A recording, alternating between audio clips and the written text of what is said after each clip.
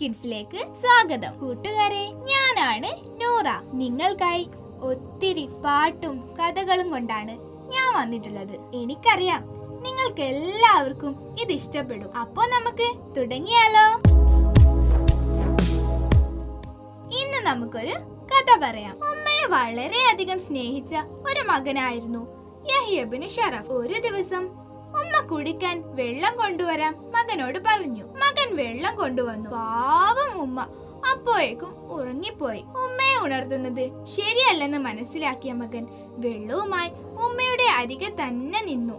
നേരം വൈകിയ ശേഷമാണ് ഉമ്മ ഉണർന്നത്. ഉണർന്ന ഉടനെ ഉമ്മ മകനോട് ചോദിച്ചു മോനെ നീ ഇതുവരെ ഉറങ്ങാതെ നിൽക്കുകയായിരുന്നു? മകൻ പറഞ്ഞു അതെ ഉമ്മ ഉണർന്ന ഉടനെ വെള്ളം തരാമെന്ന് കരുതി നിന്നതാണ്. ഉടനെ ഉമ്മ ദുആ ചെയ്തു.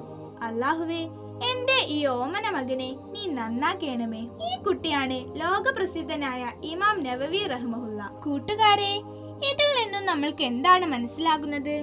ഉമ്മയെ നന്നായി സ്നേഹിക്കുകയും വളരെയേറെ ബഹുമാനിക്കുകയും ചെയ്യണം. ഉമ്മ പറയുന്നതെല്ലാം അനുസരിക്കണം.